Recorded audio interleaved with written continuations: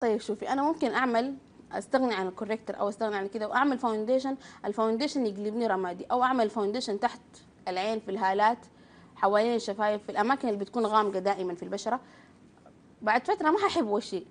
أنا ماشية مك... يعني عاملة مكياج نهاري يعني مكياج makeup no makeup لازم أعمل corrector سواء كان مكياج full makeup أو مكياج سهرة أو مكياج كان مكياج عادي. لو أنا عملت المكياج ال- ال- العادي لازم أعمل ال corrector ليه؟ مع فترة من الزمن ال... ال... تحت العين حيخطط. مم. تحت العين حيبدأ يقلب رمادي. أعمل خطوات كاملة يعني بتاخدي شوية شوية من الفرشة. ما تاخ... بالفرشة نفسها يعني ما تاخدي كمية كبيرة.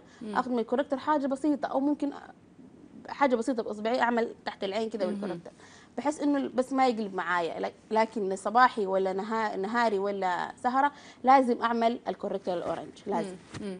وكمية بسيطة على على عكس دائما الفيديو اللي اشتهر إنه كل ما تكتري كل ما تكسبي أيوه ف لا ما أنا ما من كل ما تكتري ما يعني في ناس بيحبوا الكثير لكن أنا سبحان الله لا بحب إنه ال make البشرة تكون صحية وفي نفس الوقت okay وسط لا تكتري ولا تنقصي يعني مم. حاجة آه، تعمل آه، وجه يعني الوجه يكون نض- نضر وفي نفس الوقت مدموج نظيف ده اللي بيخلي ال- المكياج يطلع بشكل حلو.